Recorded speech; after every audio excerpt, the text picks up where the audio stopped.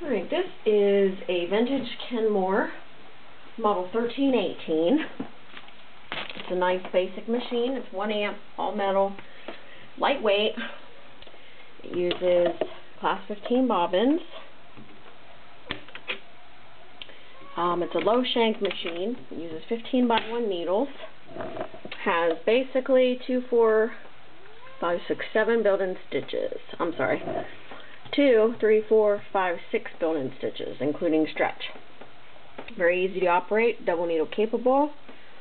Um, feed dog drops here. This is your stitch width, and this is your stitch length. Bobbin winder, pattern selector, power. Has the typical Kenmore 17-inch long deck, so it will need to be installed into a Kenmore case or cabinet, or it is tabletop ready. And here we go.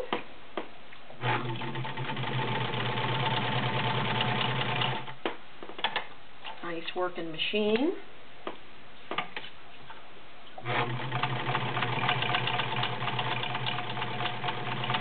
Comes with original manual, zipper foot, screwdrivers, bobbins. And we'll go over here to stretch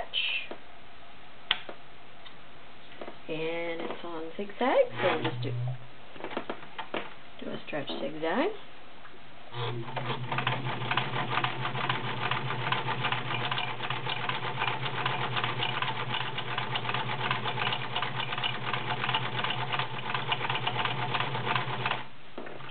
we'll do zigzag and straight.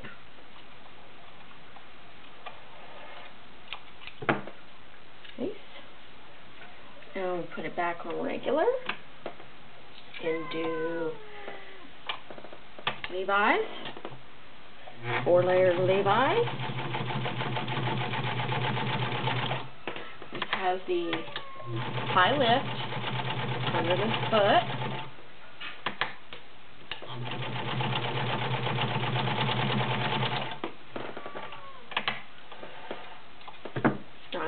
And a couple layers of leather. Sorry about that.